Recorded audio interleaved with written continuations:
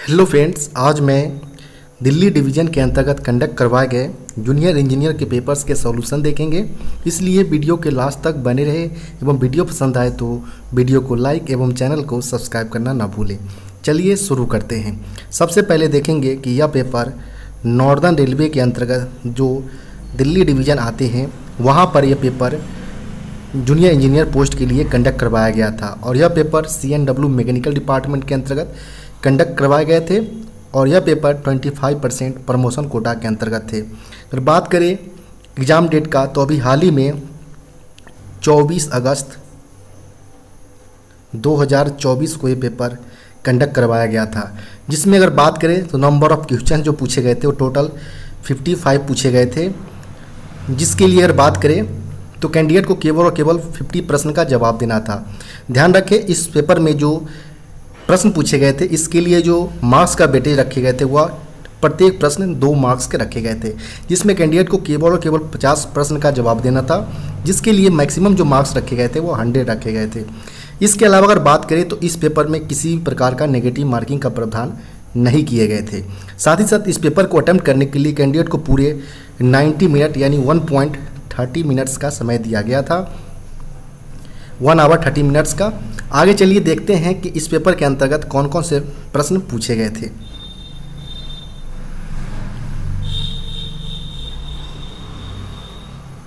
पहले प्रश्न की यहाँ पर बात करें। पूछे गए हैं the value of x square minus five eight x equal to minus one is dash यहाँ पर कोई फ़ंक्शन है एफ़ एक्स और यह इक्वेशन अगर बात करें तो एक्स स्क्वायर माइनस फाइव दिया गया है।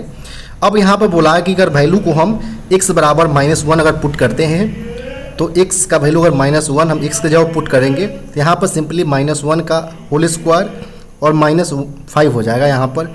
जब आप इसको आगे की तरफ़ यहाँ पर बढ़ेंगे तो वन माइनस वन का स्क्वायर वन ही होता है। माइनस फाइव होगा, जो वैल्यू निकल कर आएगा वो माइनस फोर निकल कर आएगा इस प्रश्न के लिए। तो यहाँ पर बात करें ऑप्शन नंबर का तो इस प्रकार का ऑप्शन माइनस फोर सी में दिया गया है तो यहाँ पर ऑप्शन नंबर सी इसका सही उत्तर हो जाएगा।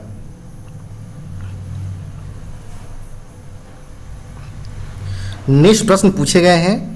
How old will I be after ten years if my age before ten years was x years यानी अगर कोई पर्सन है, जिसका यहाँ पर उम्र बताया गया है कि 10 साल बाद क्या होना चाहिए, अगर 10 साल पहले उसका उम्र एक्स ईयर्स है। तो यहाँ पर before ten years x years उसका दिया गया है। करंट में अगर बात करें हम तो उस पर्सन का अगर जो जो एज निकल कर आएगा वह सिंपली टेन ईयर्स पहले एक्स था तो यहाँ पर करंट में एक्स प्लस टेन ईयर्स हो जाएगा सिंपली अगर नेक्स्ट टेन ईयर्स में अगर बात करें जो आने वाले टेन ईयर्स में तो उस केस में सिंपली एक्स प्लस टेन तो करेंट में है ही, और सिंपली इसमें टेन और ऐड कर देंगे तो दस साल बाद क्या उम्र होगा, वो यहाँ पर निकल जाएगा। तो यहाँ पर सिंपली जो होगा वो एक्स प्लस ट्वेंटी निकल कर आएगा, जो दस साल बाद किसी पर्सन का यहाँ पर एज होगा। तो यहाँ पर बात करें ऑप्शन नंबर का तो एक्स प्लस ट्वेंटी जो दिया गया है, वो ऑप्शन नंबर ए में दिया गया है। तो यहाँ पर ऑप्शन नंबर ए इसका सही उत्तर हो जाएगा।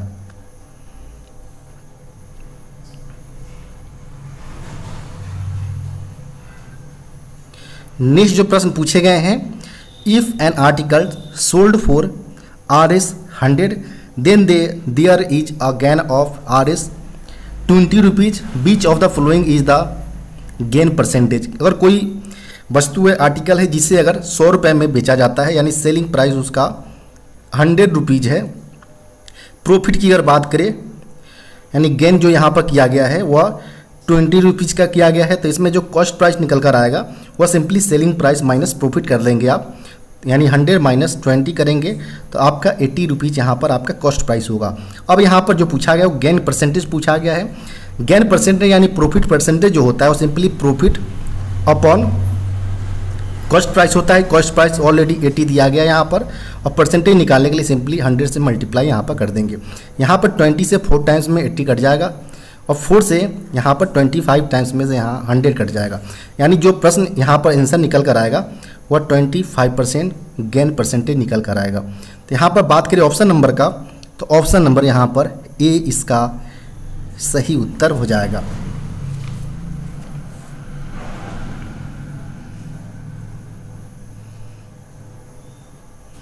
नेक्स्ट प्रश्न यहाँ पर बात करें तो what is the product of x plus a and x plus b कोई यहाँ पर एक्स प्लस ए दिया गया है और एक्स प्लस बी दिया गया है। तो यहाँ पर वन बाई वन प्रोडक्ट करेंगे, यहाँ पर गुना करेंगे। तो सिंपली हम पहले एक्स को लेंगे तो एक्स स्क्वायर यहाँ पर हो जाएगा।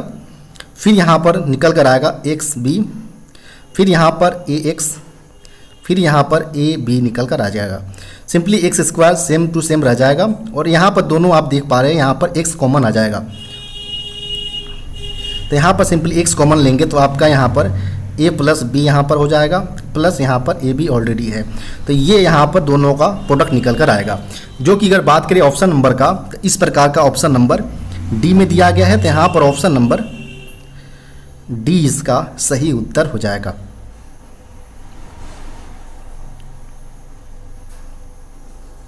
नेक्स्ट जो प्रश्न पूछे गए हैं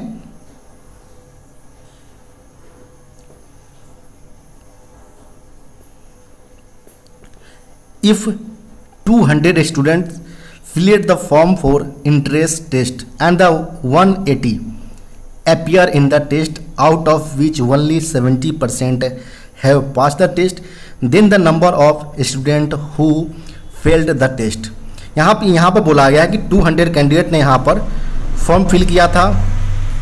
फिल फॉर्म जिसमें से केवल और केवल 180 कैंडिडेट ध्यान रखिए 180 कैंडिडेट ने यहाँ पर एग्ज़ाम को अपियर हुए थे। तो यहाँ पर, और उसमें से भी जो पास करने वाले जो कैंडिडेट के परसेंटेज है, वो 70 परसेंट थे। तो यहाँ पर सिंपली 180 का 70 परसेंट यहाँ पर निकालेंगे। तो वन ज़ीरो से वन ज़ीरो यहाँ पर कट जाएगा वन ज़ीरो से यहाँ पर। जब 18 को मल्टीप्लाई करेंगे सेवन से तो आपका जो निकल कर आएगा 126 निकल कर आएगा, यानी 180 में से 126 कैंडिडेट ने एग्ज़ाम को पास किया है। अब यहाँ पर पूछा गया जो कैंडिडेट फेल किए हैं तो टोटल आप यहाँ पर देख चुके हैं कि जो कैंडिडेट ने एग्ज़ाम अपियर किया था, वह 180 ने किए थे और जो पास किए वो केवल और केवल 126 किए हैं। तो यहाँ पर जो निकल कर आएगा, वो फोर और यहाँ पर फाइव आ जाएगा। यानी टोटल जो होगा 54 कैंडिडेट ने यहाँ पर एग्ज़ाम को फेल किए हैं। तो यहाँ पर जो सही उत्तर होगा, वो ऑप्शन नंबर यहाँ पर बी में दिया गया है 54 तो यहाँ पर बी इसका सही उत्तर हो जाएगा।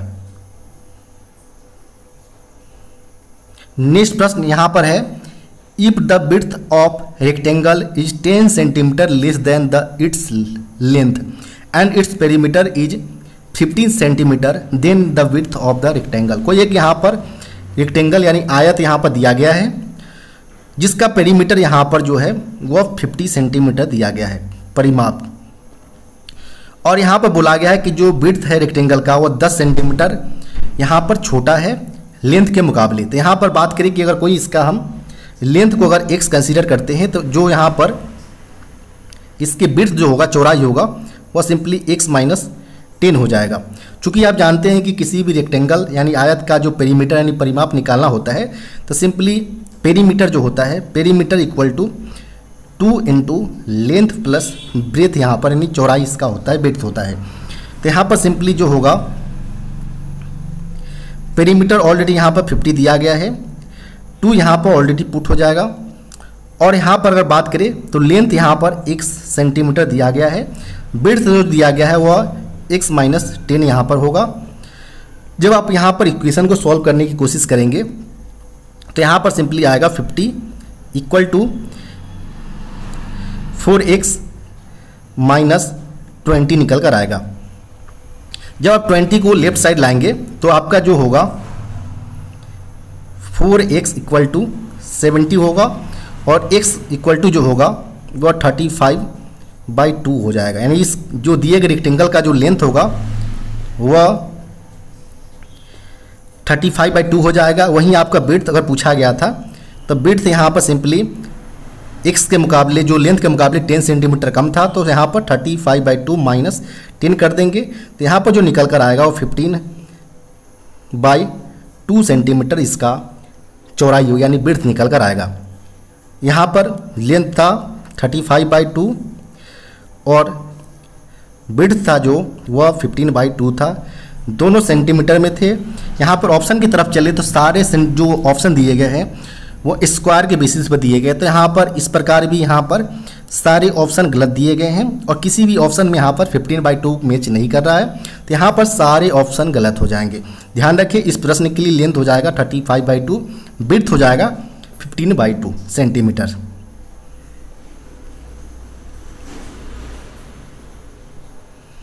नेक्स्ट प्रश्न यहाँ पर है solve the simultaneous equation thirteen x minus six y equal to thirty and seven x plus four y equal to eighteen यानी यहाँ पर एक इक्वेशन दिया गया है। दो इक्वेशन इसमें से हमें एक्स और वाई का वैल्यू फाइंड आउट करना है। ध्यान रखिए, पहले इक्वेशन में है thirteen x minus six y equal to twenty दिया गया है। जबकि सेकेंड इक्वेशन में जो दिया गया है, वह seven x plus four y equal to eighteen दिया गया है। अब यहाँ पर एक्स और वाई के निकालने के लिए यहाँ पर सिंपली किसी एक क्वांटिटी चाहे वो एक्स को दूसरे इक्वेशन से सेम करना पड़ेगा या तो वाई को करना पड़ेगा। तो यहाँ पर आप ध्यान रखें कि यहाँ पर प्लस और माइनस यहाँ पर अलग अलग सिंबल यहाँ पर वाई के केस में दिया गया है। तो सिंपली हम वाई को सेम करने की कोशिश करेंगे। यहाँ पर सिंपली फ़र्स्ट वाले इक्वेशन में हम सिंपली दोनों तरफ़ फोर से मल्टीप्लाई कर देंगे और सेकेंड वाली इक्वेशन में हम छः से मल्टीप्लाई अगर कर देंगे तो यहाँ पर हमारा एक दोनों केसों में हमारा वाई का वैल्यू सेम निकल कर आएगा। तो हम देखते हैं यहाँ पर कि दोनों इक्वेशन को जब हम पहली इक्वेशन में फोर से मल्टीप्लाई करने के बाद और सेकेंड इक्वेशन को हम सिक्स से मल्टीप्लाई करने के बाद क्या आता है? तो यहाँ पर जो निकल कर आएगा, वह निकल कर आएगा fifty two x minus twenty four y equal to eighty निकल कर आएगा। जब आप सेकेंड वाली इक्वेशन को छः से मल्टीप्लाई करके यहाँ पर लाएँगे तो आपका सिंपली निकल कर आएगा फोर्टी टू एक्स। और यहाँ पर simple simply twenty four y हो जाएगा। इक्वल टू यहाँ पर जो निकल कर आएगा, वह वन ज़ीरो एट निकल कर आएगा। अब यहाँ पर आप देख पा रहे हैं कि दोनों इक्वेशन में यहाँ पर y का वैल्यू सेम है। अब सिंपली हम दोनों इक्वेशन को जोड़ने की कोशिश करेंगे। तो दोनों इक्वेशन को जो आप जोड़ने की कोशिश करेंगे तो यहाँ पर सिंपली प्लस और माइनस के केस में यहाँ पर 24 y और प्लस में जो 24 वाई वो कट जाएगा। यहाँ पर जो सिंपली एक्स का दोनों वैल्यू हमारा जुड़ जाएगा और जो राइट हैंड का जो नोमिकल वैल्यू है, वो हमारा ऐड होकर आ जाएगा। एक्स के वैल्यू जो यहाँ पर आएगा निकल कर वह सिंपली आएगा 94x एक्स इक्वल टू यहाँ पर जो होगा, वो 188 निकल कर आएगा। तो यहाँ पर simply 94x x equal to one तो यहाँ पर टू टाइम्स में यहाँ पर कट जाएगा तो एक्स का वैल्यू जो निकल कर आएगा टू निकल कर आएगा। अब यहाँ पर आप देख लीजिए कि यहाँ पर x का वैल्यू आपका दो निकल कर आ गया है तो सिंपली किसी एक इक्वेशन में यहाँ पर x का वैल्यू पुट कर दे। जब आप x का वैल्यू किसी एक इक्वेशन में यहाँ पर पुट करेंगे तो यहाँ पर आपका वैल्यू जो निकल कर आएगा वो माइनस वन निकल कर आएगा। तो यहाँ पर इस प्रकार की अगर बात करें ऑप्शन का, कि x का वैल्यू टू और y का वैल्यू माइनस वन वह इस प्रकार का ऑप्शन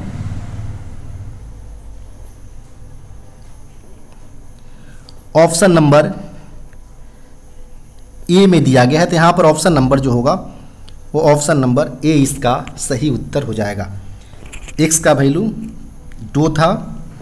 सिंपली यहाँ पर आप एक्स का वैल्यू पुट करेंगे तो यहाँ पर thirteen multiply by two minus six y equal to twenty है।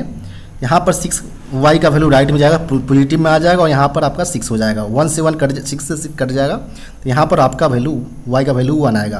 यानी एक्स का वैल्यू टू है वाई का वैल्यू वन है, जो कि ऑप्शन नंबर ए में दिया गया है। तो यहाँ पर ऑप्शन नंबर ए करेक्ट उत्तर हो जाएगा। नेक्स्ट प्रश्न यहाँ पर है the least common multiple LCM of two के power square multiply by four के पावर टू एंड टू के power q multiply by four के पावर क्यू तो ये दोनों के केस में यहाँ पर लिस्ट कॉमन मल्टीपल निकालना है, यानी एलसीएम निकालना है दोनों का। आप चूँकि आप जानते हैं कि जब भी आपसे लिस्ट कॉमन मल्टीपल यहाँ पर पूछा जाता है तो वैसा नंबर्स होता है जब दोनों, ये दोनों नंबर जो दिए गए हैं, इससे ऐसा डिविजिबल नंबर निकालना है जो सबसे छोटा भी हो और दोनों से डिविजिबल भी हो। तो यहाँ पर अगर बात करें कि टू के पावर टू का power two multiply by four का पावर टू है तो यहाँ पर सिंपली जब आप इसका टोटल वैल्यू निकालेंगे तो सिक्सटी फोर होगा। और यहाँ पर टू के पावर क्यू है मल्टीप्लाई बाई फोर के पावर क्यू है। तो यहाँ पर इसका वैल्यू जो होगा फाइव फाइव हंड्रेड ट्वेल्व आ जाएगा यहाँ पर।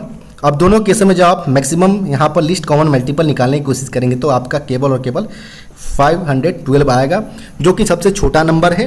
और दोनों से डिविजिबल भी है। इस प्रकार के जो नंबर्स होते हैं, वो लिस्ट कॉमन मल्टीपल यानी एलसीएम कहलाते हैं। तो यहाँ पर बात करें ऑप्शन नंबर का। तो ऑप्शन नंबर यहाँ पर डी इसका सही उत्तर हो जाएगा 512 नेक्स्ट प्रश्न यहाँ पर है what is the meaning of W W W W W W का मतलब यहाँ पर होता है वर्ल्ड वाइड वेब होता है। जब भी आप कोई वेबसाइट वगैरह जो सर्च करते हैं तो यहाँ पर इस प्रकार का होता है H T T P S और यहाँ पर टू रेशियो लगा होता है, इसके बाद दो हमारा क्रॉस कॉलम लगे होते हैं। और यहाँ पर डब्ल्यू लिखा होता है। तो यहाँ पर सिंपली जो किसी वेबसाइट से पहले जो HTTP जो होता है, वो इसका फुल फॉर्म होता है, hyper text transfer protocol secure network होता है। जब भी कोई वेबसाइट होता है, उसको सिक्योर करने के लिए प्रॉपर रूप से प्रोटोकॉल यहाँ पर सिक्योर करने के लिए नेटवर्क जो होता है, उसे एच टी इसे डिनोट किया जाता है। और वेबसाइट से पहले डब्ल्यू डब्ल्यू डब्ल्यू यहाँ पर लगाया जाता है, यानी वर्ल्ड वाइड वेब लगाया जाता है। तो इस प्रकार यहाँ पर जो सही उत्तर होगा, वो ऑप्शन नंबर डी इसका सही उत्तर हो जाएगा। World wide wide web next प्रश्न यहाँ पर है in which form data is saved in a computer computers के अंतर्गत जो डाटा सेव किया जाता है, किस रूप में सेव किया जाता है?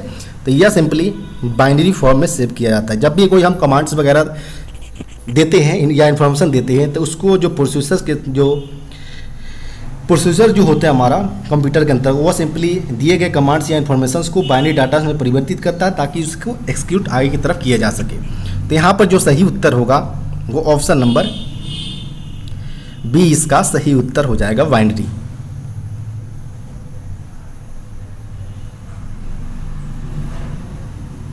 नेक्स्ट जो प्रश्न पूछे गए हैं what is the validity of brake power certificate of close circuit rake BLC wagons.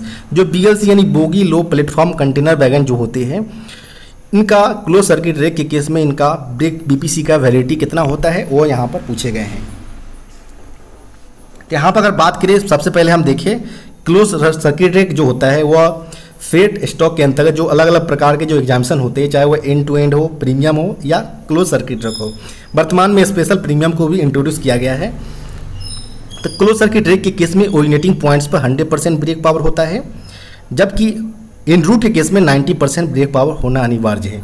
इसके अलावा जब भी इस प्रकार की बीपीसी दिया जाता है तो येल्लो कलर पेपर का यूज़ किया जाना चाहिए। साथ ही साथ इस प्रकार के जो क्लोज सर्किट रेक जो होते हैं, इनके लिए एग्जामिशंस के लिए हंड्रेड मैन आवर पर रेक की रिक्वायरमेंट होता है। साथ ही साथ इस प्रकार की अगर बात करें बीपीसी जो सीसी रेक के द्वारा जारी किए जाते हैं नॉर्मली बेसिस पर थर्टी प्लस फाइव डेज़ या thirty five plus five days होता है। जबकि किलोमीटर बेसिस पर यह छः हज़ार किलोमीटर से लेकर टेन थाउज़ेंड किलोमीटर तक यह रेक टू रेक वेरी करते हैं। जो बॉक्स एन वैगन वैगन जो रन किए जाते हैं, वो normally thirty five plus five या टेन थाउज़ेंड किलोमीटर के यहाँ पर रन किए जाते हैं। इसके अलावा भी काफ़ी काफ़ी सारे जो ट्रायल बेसिस पर इसका किलोमीटर चेंजेज होते रहते हैं। तो यहाँ पर बात, जो प्रश्न पूछा गया था, वह पूछा गया था बीएलसी बैगन के केस में। तो बीएलसी बैगन के केस में अगर बात करें तो अभी जो नया लेटर जारी किया गया था 28 मार्च 2024 को रेलवे बोर्ड द्वारा, इसके बिहार पर बात करें तो 30 सितंबर, ट्रायल बेसिस जो है, ट्रायल बेसिस पर 30 सितंबर 2024 तक जो बीपीसी जारी किए जाएँगे बीएलसी क्लोज सर्किट रेक के केस में वह थर्टी डेज़ और नाइन थाउजेंड्स किलोमीटर के लिए जारी किए जाएँगे। यहाँ पर देख, ध्यान रखें, यह केवल और केवल 30 सितंबर 2024 तक ट्रायल बेसिस के आधार पर रेलवे बोर्ड द्वारा यह जारी किया गया है। तो कैंट में यही इसको प्रोसीजर फॉलो किया जाता है, जब भी बीपीसी बीएलसी वैगन का क्लोज सर्किट रेक के केस में जारी किए जाते हैं। तो यहाँ पर बात करें ऑप्शन नंबर का तो यहाँ पर ऑप्शन नंबर सी इसका सही उत्तर हो जाएगा। 9000 किलोमीटर और 30 days whichever is earlier next प्रश्न यहाँ पर बात करें। पूछे गए हैं colour of brake power certificate of air brake goods train end to end end to end जो ट्रेन है, इनके केस में जो ब्रेक पावर सर्टिफिकेट का जो कलर कोड होना चाहिए, वो कौन सा होना चाहिए? तो गुड्स ट्रेन के केस में जो आई R C as per I R C A part third जो कि मेनली फ्रेट स्टॉक से रिलेटेड है। इसमें जो इन टू एंड की बात किया गया है इन टू एंड रेक के केस में, जो बीपीसी का कलर कोड होना चाहिए, वो वाइट कलर होना चाहिए। जबकि प्रीमियम के केस में अगर बात करें तो ग्रीन कलर्स में जारी किए जाते हैं। वहीं अगर बात करें सीसी रैक का तो सीसी रैक के केस में या येलो फॉर्म में जारी किए जाते हैं।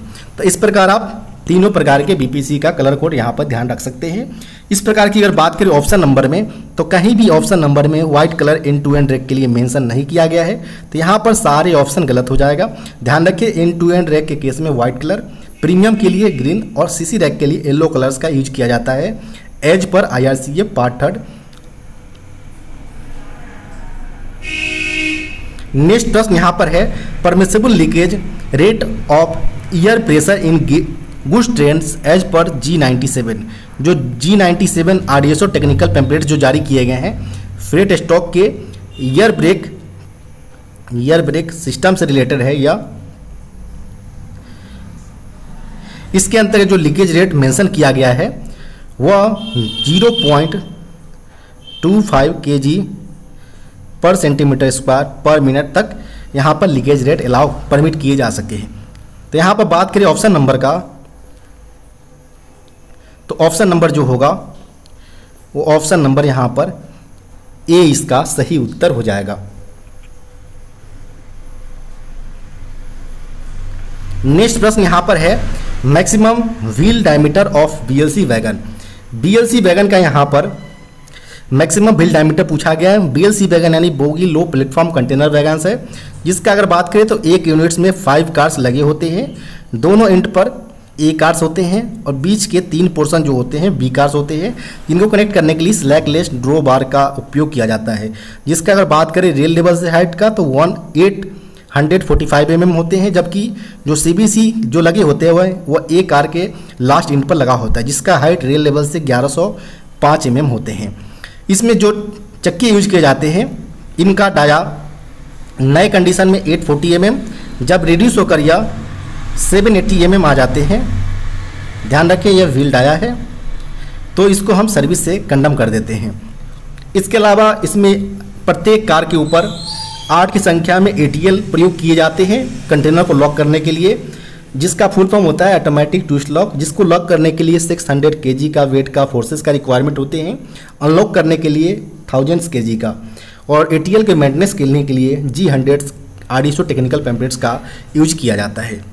तो यहाँ पर केवल पूछा गया था बी एल वैगन का डायमीटर्स मैक्सिमम जो नए कंडीशन में होता है वो 840 फोर्टी mm होता है। यहाँ पर ऑप्शन नंबर बी करेक्ट उत्तर हो जाएगा। नेक्स्ट प्रश्न यहाँ पर है what is the maximum brake cylinder pressure in MT condition for B L C wagon B L C wagons में एम एवं लोडेड को सेंस करने के लिए प्रत्येक बोगी में zero one L S D load sensing device प्रत्येक bogie में यहाँ पर लगे होते हैं। जिनका काम होता है कि जो भी वेट यहाँ पर वैगन के कंटेनर में उपलब्ध है उसको एम कंडीशन या लोडेड कंडीशन उसके सेंस करके यहाँ पर प्रेशर जो ब्रेक सिलेंडर भेजे जाते हैं, वह उसी प्रकार भेजे जाते हैं। एम कंडीशन में यह प्रेशर 2.2 लोडेड कंडीशन में यह प्रेशर 3.8 पॉइंट पर सेंटीमीटर स्क्वायर का होता है। तो यहाँ पर प्रश्न में जो पूछा गया था, केवल पूछा गया था एम कंडीशन में तो 2.2 पॉइंट टू के जी पर सेंटीमीटर स्क्वायर हो जाएगा। यहाँ पर एक की संख्या में प्रत्येक बोगी में एलएसडी होते हैं। अगर आपसे पूरे कार में पूछा जाए कि एक कार में कितने होते हैं तो एक कार में एलएसडी की संख्या, दो की संख्या में प्रत्येक कार में उपलब्ध होते हैं।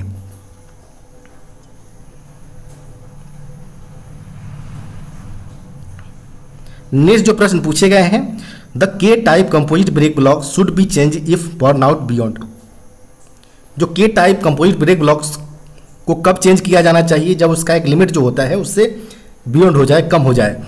तो अगर बात करें तो के टाइप ब्रेक ब्लॉक जो होता है, वह B M B S wagon और B M B C coaches के अंतर्गत प्रयोग किए जाते हैं। जबकि एल टाइप की अगर बात करें तो एल टाइप का प्रयोग अंडर फ्रेम माउंटेड जो गुड्स ट्रेन है उनमें एल टाइप ब्रेक ब्लॉक का प्रयोग किया जाता है। के टाइप की अगर बात करें तो के टाइप का जो कंडम लिमिट्स जो रखा गया है, वह ट्वेल्व एम पर इसको कंडम कर दिया जाता है, जबकि एल टाइप के लिए यह टेन एम रखा गया है। तो यहाँ पर अगर बात करें अगर, जो प्रश्न पूछा गया था के टाइप्स की कंडम लिमिट्स का तो वह यहाँ पर जो सही होगा, वो option number B twelve M mm यानी बारह एम mm इसका सही उत्तर हो जाएगा। ऑप्शन नंबर बी नेक्स्ट प्रश्न यहाँ पर है।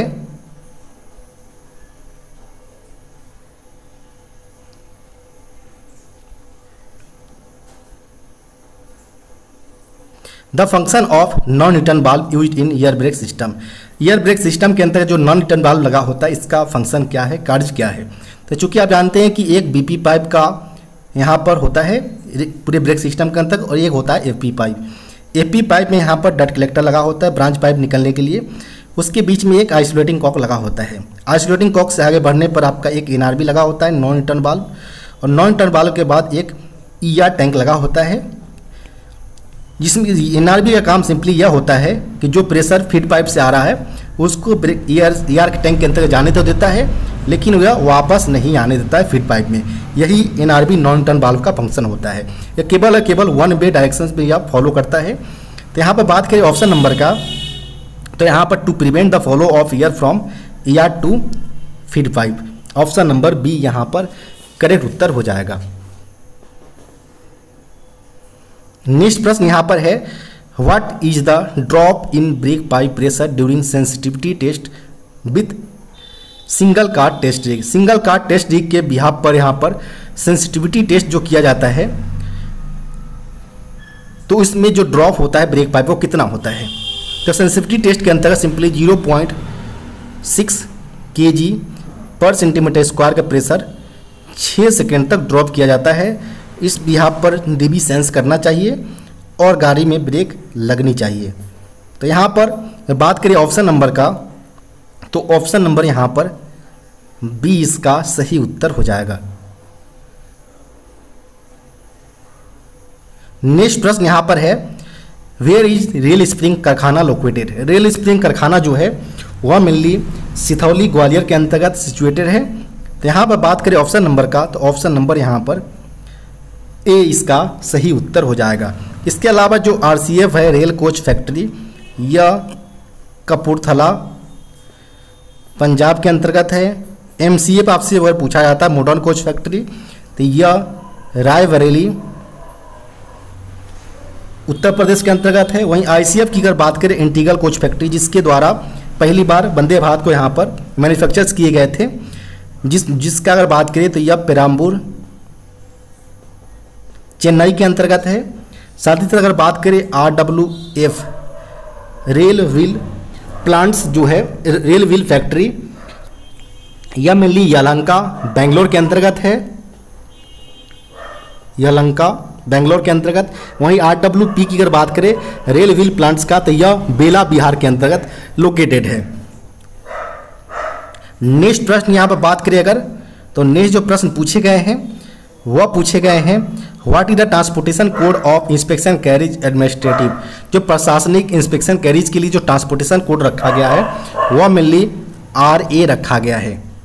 यहाँ पर बात करें ऑप्शन नंबर का तो यहाँ पर ऑप्शन नंबर डी इसका सही उत्तर हो जाएगा। इसके अलावा अगर बात करें तो वी जो है, यह mainly high capacity parcel van के लिए लिया जाता है।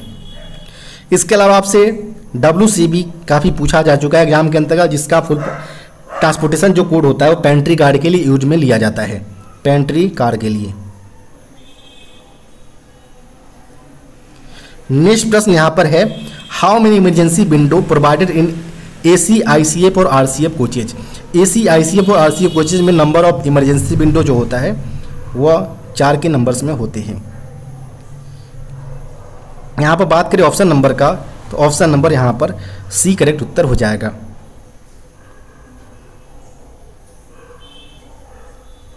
नेक्स्ट प्रश्न यहाँ पर है cut off angle cock can be fitted to जो कटअप एंगल कॉक जो लगे होते हैं, जो कोच या वैगन्स होते हैं, दोनों इंड पर एक बीपी के लिए और एक एफपी के लिए लगा होते हैं। टोटल चार लगे होते हैं नंबर्स में और यह बीपी एवं एफपी दोनों के लिए होते हैं तो यहाँ पर ऑप्शन नंबर सी करेक्ट उत्तर हो जाएगा।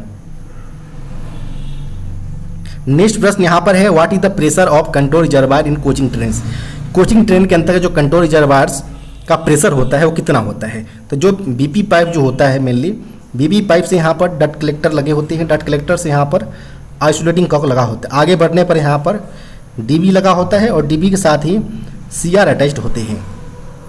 कंट्रोल रिजर्वायर तो कंट्रोल रिजर्वायर का मेन अगर बात करें अगर तो इसमें जो प्रेशर जाता है वह फाइव के जी पर सेंटीमीटर स्क्वायर का प्रेशर जाता है।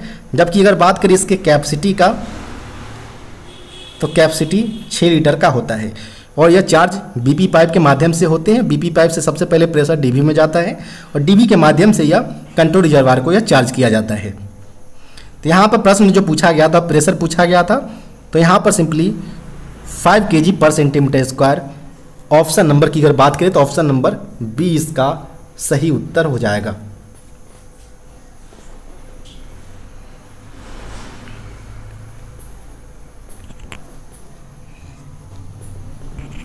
नेक्स्ट प्रश्न यहाँ पर बात करें तो reduction in BP pressure for full service application जब भी लोको पार्ट्स के द्वारा प्रेशर ड्रॉप किया जाता है तो उसमें अलग अलग स्टेज में यहाँ पर प्रेशर को ड्रॉप किए जाते हैं।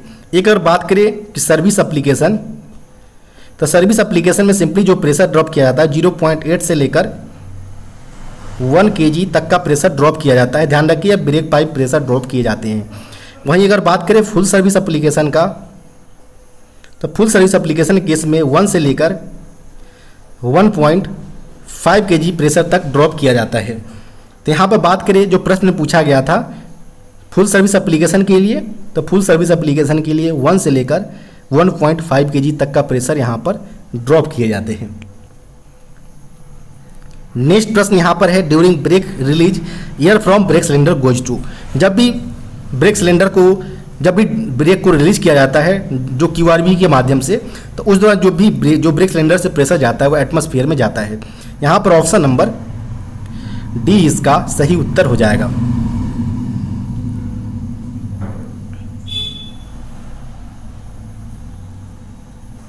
नेक्स्ट जो प्रश्न पूछे गए हैं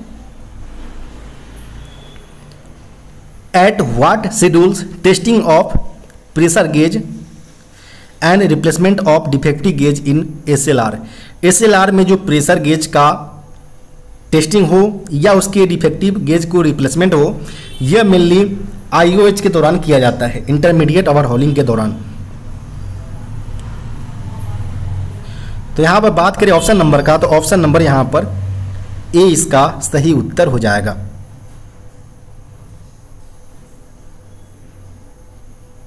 नेक्स्ट जो प्रश्न पूछे गए हैं when DB is working condition the position of DB handle is DB का जो हैंडल होता है, दो कंडीशंस में यहाँ पर फ़ंक्शन करते हैं। जब वह वर्टिकल होगा तो यह मेनली वर्किंग कंडीशन को इंडिकेट करेगा। जब डीबी का हैंडल हॉरिजेंटली अगर होगा तो इस प्रकार के जो कंडीशन होते हैं वो आइसोलेट कंडीशन को इंडिकेट करते हैं। तो यहाँ पर बात करें ऑप्शन नंबर का। तो जो ऑप्शन नंबर यहाँ पर वर्किंग कंडीशन के लिए दिया गया है, वो vertical condition option number C यहाँ पर सही उत्तर हो जाएगा।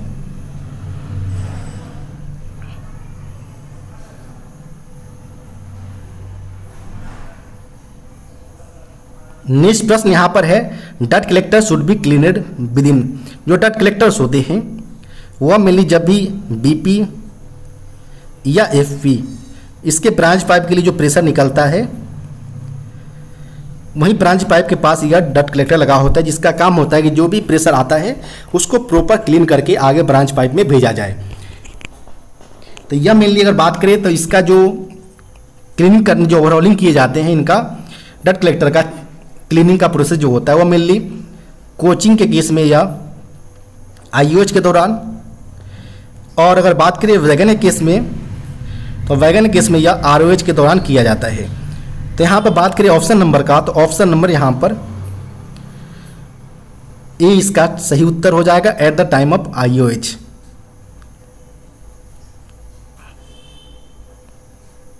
next प्रश्न यहाँ पर है in air brake system brakes should apply when the rate of drop of air pressure in BPs air brake system के अंतर्गत ब्रेक अप्लाई हो जाना चाहिए जब कितने रेट से प्रेशर को ड्रॉप किया जाना चाहिए ब्रेक पाइप से प्रेशर ड्रॉप किया जाता है। तो इस प्रकार के जो प्रश्न पूछे जाते हैं कि ब्रेक अप्लाई होना चाहिए, कितने रेट से प्रेशर बीपी का ड्रॉप किया जाता है।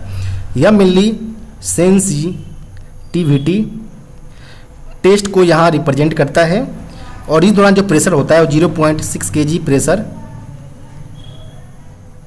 छः सेकेंड तक ड्रॉप किया जाता है। इस दौरान डीबी सेंस करता है ब्रेक गाड़ी में अप्लाई होते हैं। यहाँ पर ऑप्शन नंबर ए इसका सही उत्तर हो जाएगा। नेक्स्ट प्रश्न में जस्ट पूछा गया, ब्रेक अप्लाई नहीं होने चाहिए। जब बीपी पाइप से कितने तक का प्रेशर यहाँ पर ड्रॉप किया जाता है।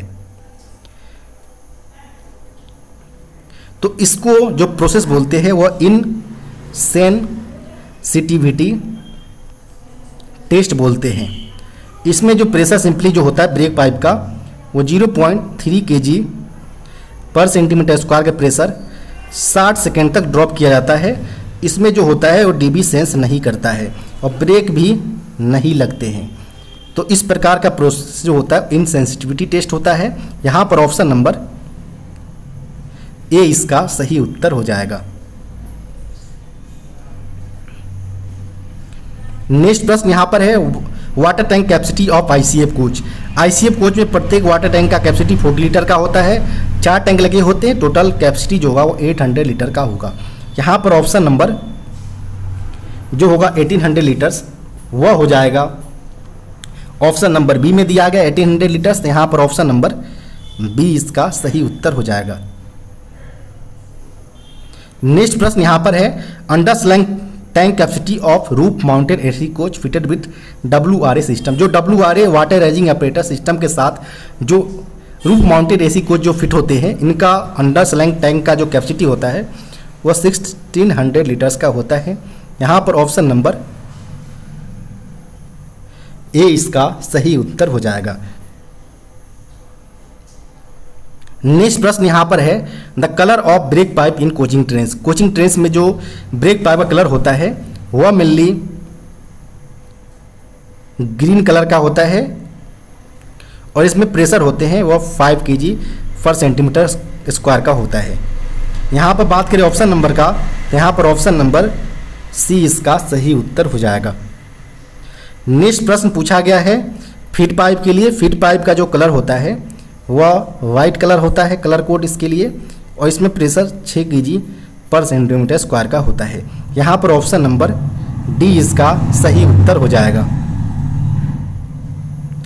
नेक्स्ट जो प्रश्न पूछे गए हैं,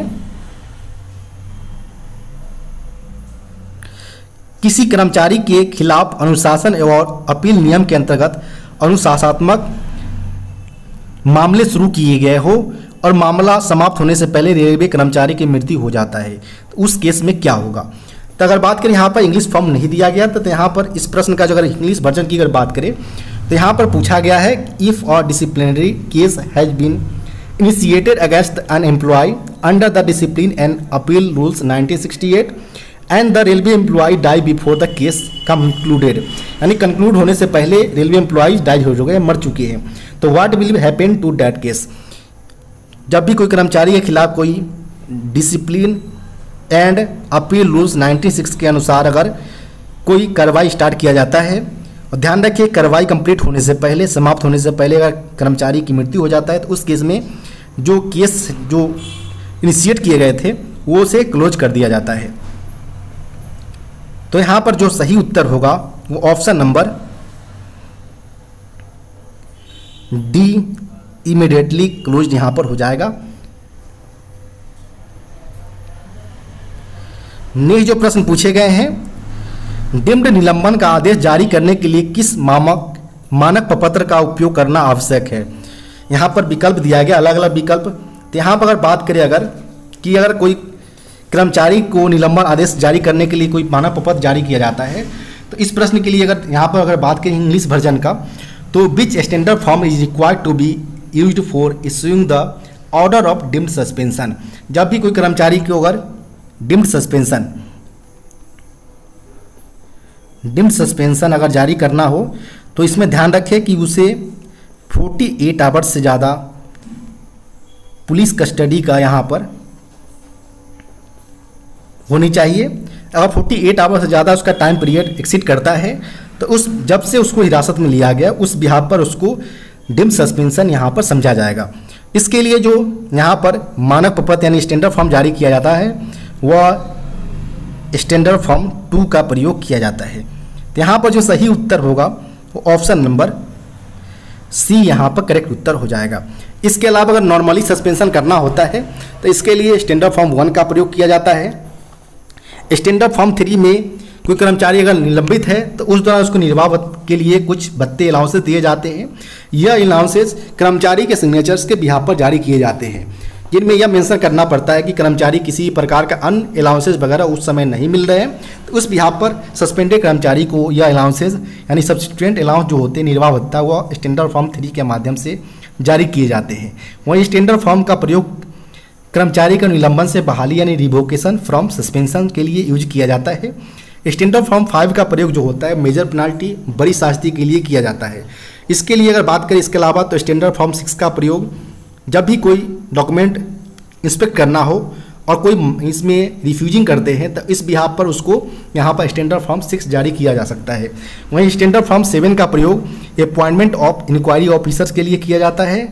जबकि एट की अगर बात करें तो अपॉइंटमेंट ऑफ़ प्रेजेंटिंग ऑफिसर्स जबकि स्टैंडर्ड फॉर्म इलेवन की अगर बात करें तो इसमें माइनर पेनल्टी छोटी शास्ति के लिए स्टैंडर्ड फॉर्म इलेवन को इशू किया जाता है। नेक्स्ट प्रश्न की यहाँ पर बात करें तो भारतीय रेल यांत्रिक इंजीनियर सेवा का प्रशिक्षण कहाँ होता है? यानी where does the training of Indian railway mechanical engineer service take place जो यांत्रिक इंजीनियर जो होते हैं मैकेनिकल इंजीनियर इनका जो डायरेक्टली बेसिस पर जो इंडियन इंजीनियरिंग सर्विस जिसको अभी मॉडिफाई करके अलग यहाँ पर बना दिया गया है, उनके बिहार पर जब इसको अपॉइंटमेंट किए जाते हैं, चाहे वो ग्रुप ए हो, चाहे डिपार्टमेंटल बेसिस पर ग्रुप बी के अंतर्गत जो आते हैं मैकेनिकल इंजीनियर उनको एक ट्रेनिंग की रिक्वायरमेंट होता है।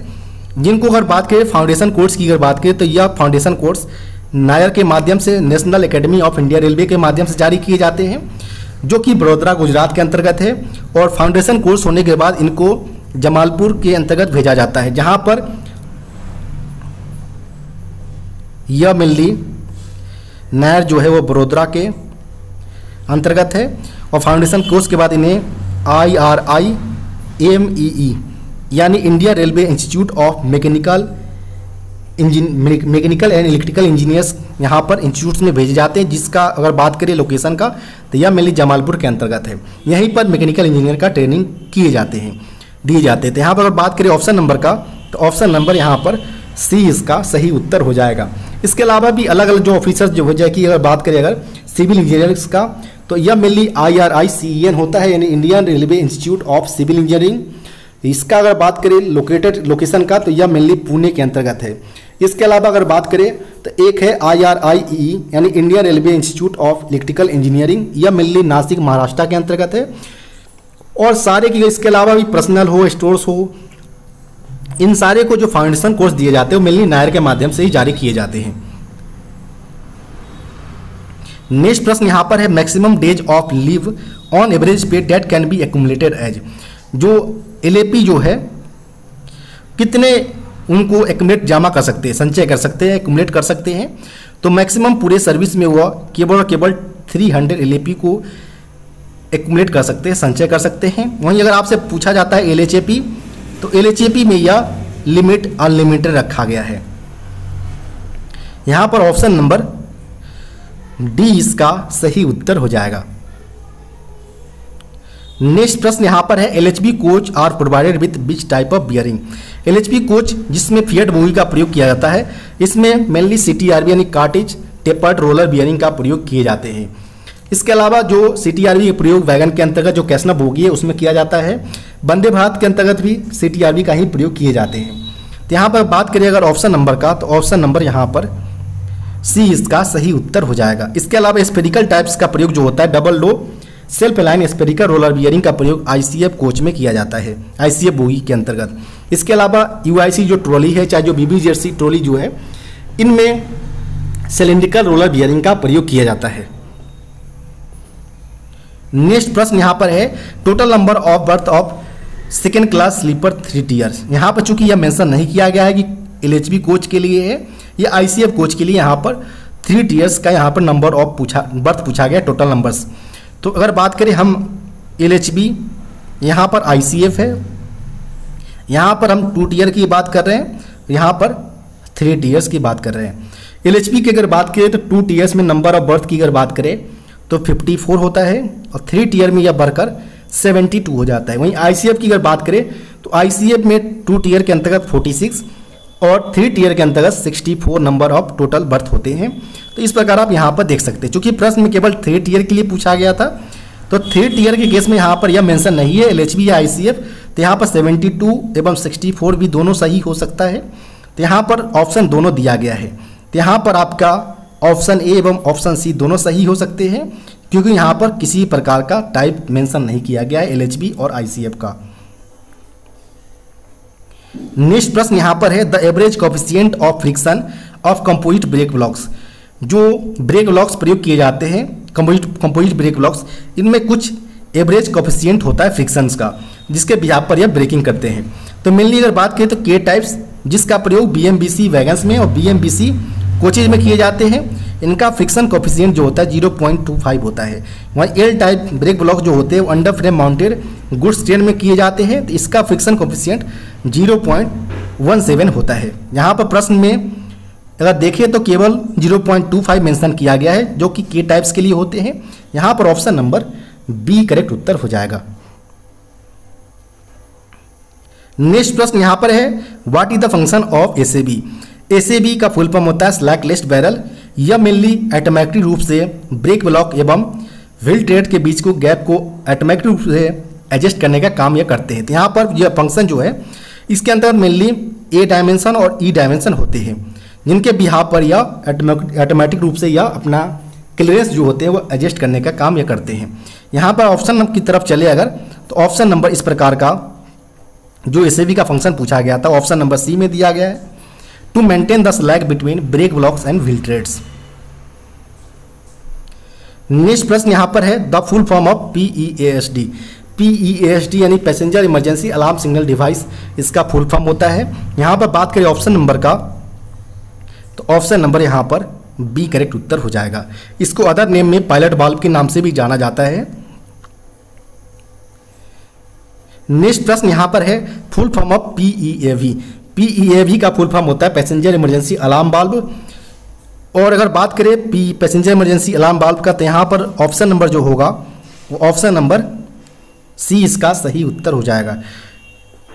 इसका अगर बात करें चोक डाया का, जिससे यहाँ पर प्रेशर ड्रॉप किए जाते हैं जब हम चैन पुलिंग करते हैं। तो इसमें अगर बात करें तो एलएचवी में जो चोक डाया रखा गया है, पैसेंजर इमरजेंसी अलार्म बाल्ब का, वो 19 एम mm का रखा गया है। वहीं आई आईसीएफ कोचेज की अगर बात करें तो इसमें एट एम mm का चोक डाया रखा गया है। नेक्स्ट प्रश्न यहाँ पर है, which of the following lies between zero and minus one zero and minus one के बीच जो चार ऑप्शन दिए, कौन सा यहाँ पर आएँगे? ज़ीरो यहाँ पर ऑटोमेटिक रूप से नहीं होगा, क्योंकि दोनों के बीच ज़ीरो नहीं आएगा। माइनस तीन माइनस वन से यहाँ पर और नीचे आ गया है। इसको भी नहीं लिया जाएगा, क्योंकि ये दोनों के बीच में नहीं आते हैं। इसके अलावा अगर बात करें तो माइनस टू बाई थ्री दिया गया है और माइ जिसका वैल्यू अगर बात करें तो minus zero point six six आएगा। अगर माइनस फोर बाई थ्री की अगर बात करें तो इसका वैल्यू जो निकल कर आएगा, वह minus one point three three निकल कर आएगा। तो यहाँ पर फोर ऑप्शन भी गलत हो जाएगा। केवल और केवल यहाँ पर minus two by three option यहाँ पर करेक्ट होगा, जो कि ज़ीरो और माइनस वन के बीच लाइज करते हैं। यहाँ पर ऑप्शन नंबर सी करेक्ट उत्तर होगा।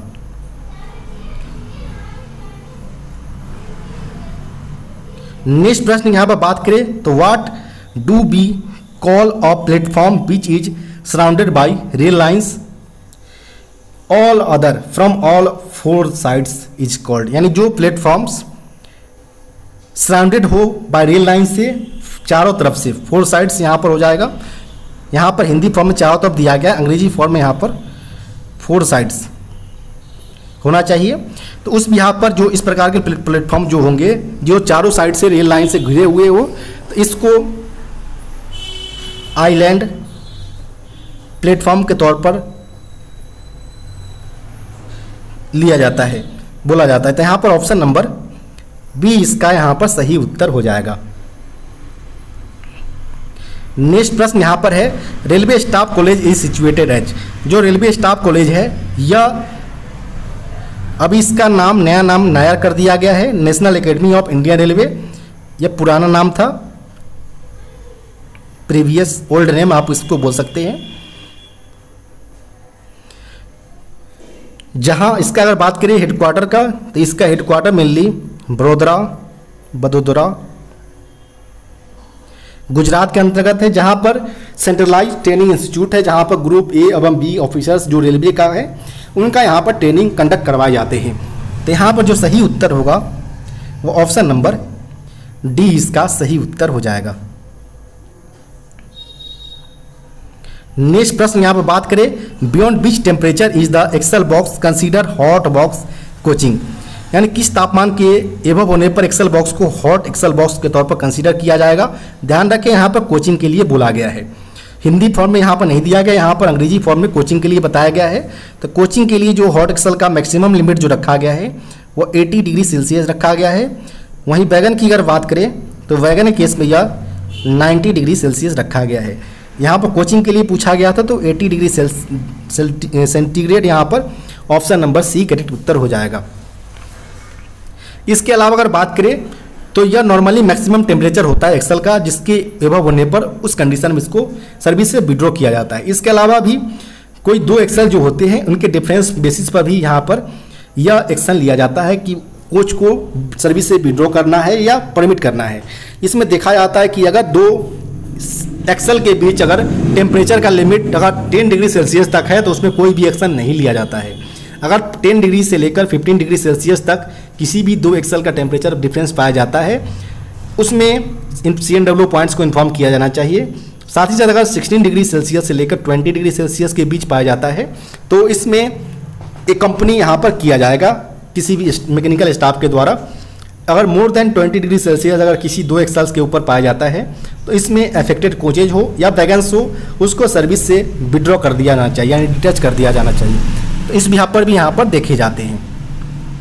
नेक्स्ट प्रश्न यहाँ पर है draw and buffing force transmission in coach is through जो कोचेज के अंतर्गत जो ड्रॉ एवं बफिंग फोर्स का जो ट्रांसमिशन होता है, वह मेनली सेंटर पिवेट के माध्यम से होता है। यहाँ पर ऑप्शन नंबर ए इसका सही उत्तर हो जाएगा।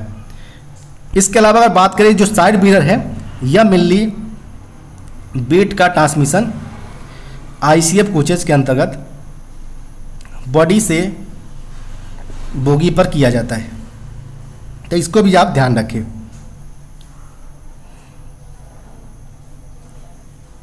नेक्स्ट प्रश्न पूछे गए हैं what is the minimum buffer height permitted on loaded coaching stock coaching stock अगर लोडेड कंडीशन में है तो मिनिमम बफर हाइट परमिट कितना किया जाएगा? तो लोडेड कंडीशन में या दोनों केस में हम देखेंगे 1105 जो होता है, वह मैक्सिमम हाइट होता है। मिनिमम हाइट होता है 1090 एम ध्यान रखें एम कंडीशन में है। और 1030 एम मिनिमम बफर हाइट होता है। यह होता है लोडेड कंडीशन में। चूँकि प्रश्न में लोडेड कंडीशन कंडीशन मेंशन किया गया है तो यहाँ पर 1030 एम इसका सही उत्तर हो जाएगा। यहाँ पर बात करें ऑप्शन नंबर का तो ऑप्शन नंबर यहाँ पर डी करेक्ट उत्तर हो जाएगा। नेक्स्ट जो प्रश्न पूछे गए हैं, वो ऑफिशियल लैंग्वेज राजभाषा से पूछे गए हैं। जिनमें पहला प्रश्न जो पूछा गया है ऑफिशियल लैंग्वेज से what is the official language of the union of India यानी भारत संघ की राजभाषा क्या है? तो हिंदी एंड देवनागरी स्क्रिप्ट में इसको शामिल किया गया है। यहाँ पर ऑप्शन नंबर ए इसका सही उत्तर हो जाएगा। यह शामिल किया गया था आर्टिकल 343 के वन के अंतर्गत। और डेट की अगर बात करें तो 14 सितंबर 1949 को यह भारतीय संविधान के अंतर्गत शामिल किए गए थे। नेक्स्ट प्रश्न यहाँ पर है, when Hindi Diwas day is celebrated every year. Hindi Diwas जो होता है वो प्रत्येक वर्ष 14 सितंबर को मनाए जाते हैं। यहाँ पर ऑप्शन नंबर बी करेक्ट उत्तर हो जाएगा। इसके अलावा अगर बात करें तो वर्ल्ड वर्ल्ड हिंदी डे की अगर बात करें तो यह मेनली 10 जनवरी को मनाया जाता है। नेक्स्ट प्रश्न यहाँ पर है what is the official language of Arunachal Pradesh Arunachal Pradesh का जो राजभाषा है ऑफिशियल लैंग्वेज है, वो अंग्रेज़ी को रखा गया है। यहाँ पर ऑप्शन नंबर ए इसका सही उत्तर हो जाएगा। नेक्स्ट प्रश्न यहाँ पर है in which states Urdu has been declared as official language कौन से राज्य के अंतर्गत उर्दू को एज अ ऑफिशियल लैंग्वेज के तौर पर कंसीडर किया गया है? डिक्लेयर किया गया है तो इसमें आंध्र प्रदेश और बिहार यहाँ पर शामिल है। ऑप्शन नंबर यहाँ पर ए इसका सही उत्तर हो जाएगा। नेक्स्ट प्रश्न यहाँ पर बात करें। पूछे गए हैं, which of the following is not a language included in eight schedules आठवीं अनुसूची में कौन सा लैंग्वेज को शामिल नहीं किया गया है? तो भी वर्तमान के अंतर्गत टोटल 22 भाषाओं को शामिल किया गया है। जिनमें अगर बात करें तो एकमात्र जो फॉरेन लैंग्वेज है, उस नेपाली के तौर पर इंक्लूड किए गए हैं। यहाँ पर बात करें ऑप्शन नंबर का तो असमिया को शामिल किया गया है, बंगला, पंजाबी तीनों को शामिल किया गया जबकि यहाँ पर जो फोर्थ ऑप्शन है, कुमावनी, उनको शामिल यहाँ पर नहीं किया गया था यहाँ पर ऑप्शन नंबर डी इसका सही उत्तर हो जाएगा। आपको वीडियो कैसा लगा, कमेंट बॉक्स में बताना ना भूले। साथ ही साथ वीडियो को लाइक एवं चैनल को सब्सक्राइब करना ना भूले। अगर आपके पास भी कोई ऐसा पेपर है जिसका आप सॉल्यूशन चाहते हो तो डिस्क्रिप्शन बॉक्स में दिए गए व्हाट्सएप नंबर पर अपना पेपर भेज सकते हैं। धन्यवाद।